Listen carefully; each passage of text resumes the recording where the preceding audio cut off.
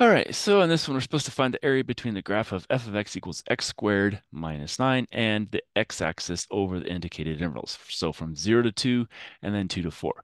So again, let's go ahead and graph that.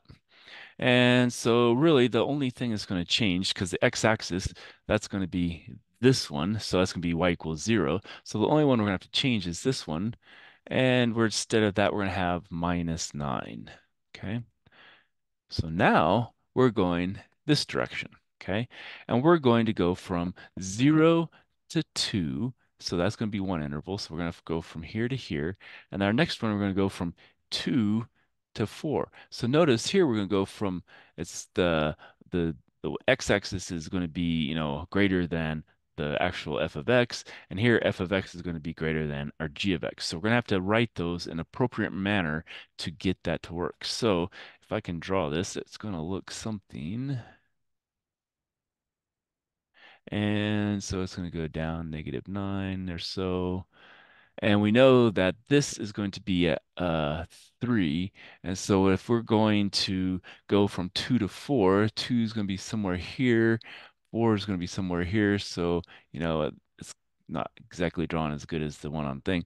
But we're going to have a part that here is positive, a part here that's negative. This one, the whole thing, if we uh, draw that, uh, let's maybe, do we have highlighter? Yes, do highlighter.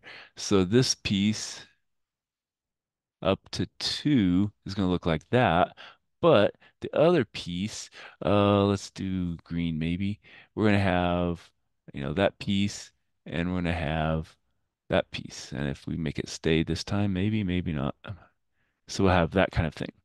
All right, so what we have to think about is uh, we're going to go from, and here here's two ways we can think about this.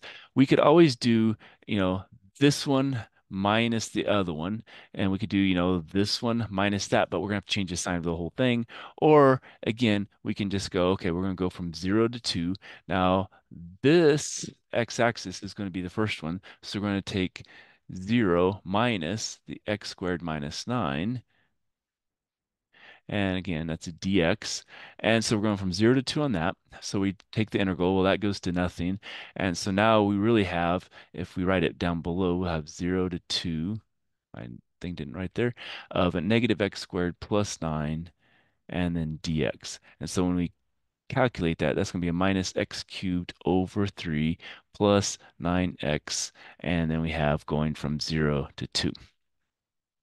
All right, so plugging that in, if we have 2 there, that's going to be 2 times 2 is 4 times 2 is 8. So it's going to be a minus, uh, 8 thirds. And then we're going to have plus, and here we plug in that, that's going to be 18.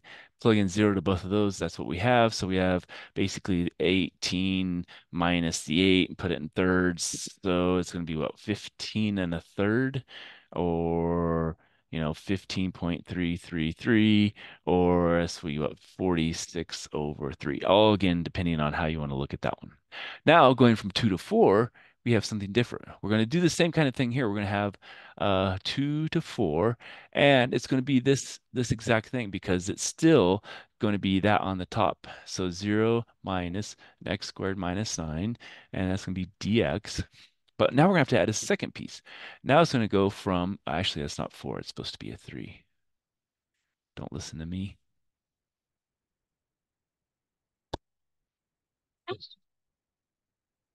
All right, so that's a three, excuse me. And so then this one's going from three to four. And so now three to four. And so now it's the x squared minus nine on top minus zero. And then dx. All right, so this one's going to come out looking the same thing here. We're going to make that a minus x squared, so it comes x cubed over 3. That becomes plus 9, so it's a plus 9x. And we're going from 2 to 3. And then we're going to add to that. Now this becomes just x cubed over 3 minus 9x. And here we're going from 3 to 4.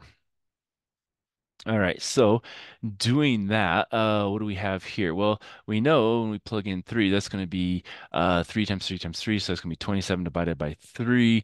So that's going to be uh, 9. So it's going to be what? Wait. 3 times. Is that a 3? Yeah, that's a 3. All right, so that's going to be uh yeah, I have okay. 3. So minus 27 over 3 plus 9 times 3. And this is going to be plus, uh, now, oh, actually minus. Doing all the pieces backwards here. And then it's going to be that piece minus, now we plug in 2, so it's going to be a minus 8 over 3 plus 9 times 2. And then we're add to that. Now we plug in a 4, and so that's going to be uh, 4 cubed divided by 3, and minus 9 times 4, and then we'll have minus, and then we'll have down below here a little bit longer.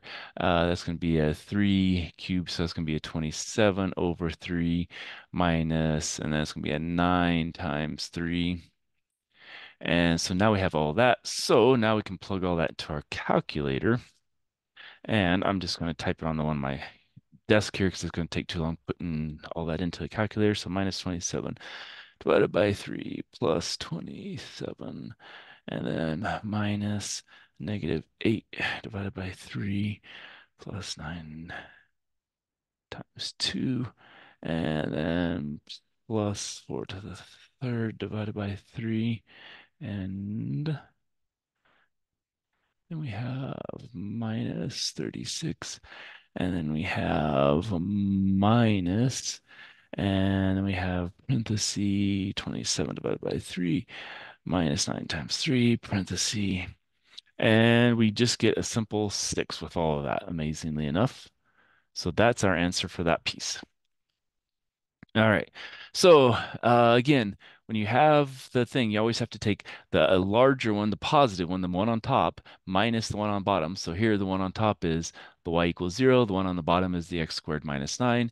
Here, it's the same for the first piece, but then it switches on the second piece. So then we have to switch it back around to this one minus the other one. And then it's a lot of just plugging in and chugging and getting our answers there. All right, so let's stop there and we'll come back for more.